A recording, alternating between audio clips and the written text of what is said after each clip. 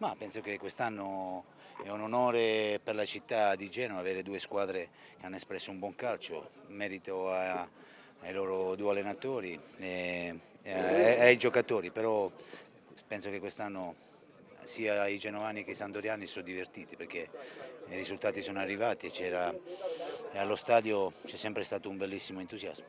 Visto che la Samp è a caccia di un nuovo allenatore non è che puoi entrare in corsa? No, io come dico sempre da un po' di tempo ho un percorso da fare ed è quello di, di migliorare, di, di, riuscire a fare raggiungere piano piano gli obiettivi che mi sono prefissati io e il mio staff. Potresti farlo in Russia, visto che c'è l'interessamento da parte di qualche squadra?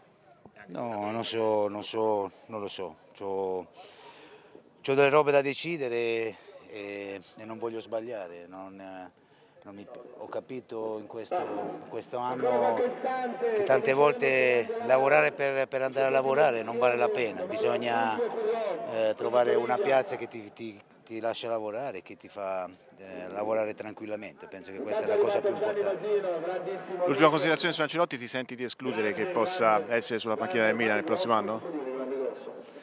Ah, la storia dice che quando si muove Gagliani qualcosa di buono fa sempre, però conoscendo Carlo mi sembra, un, mi sembra un po' difficile, però ripeto, io penso che quest'anno la famiglia, la famiglia Berlusconi ritornerà a fare un mercato per lottare ai vertici eh, dei campionati italiani. Però servono parecchi investimenti secondo te?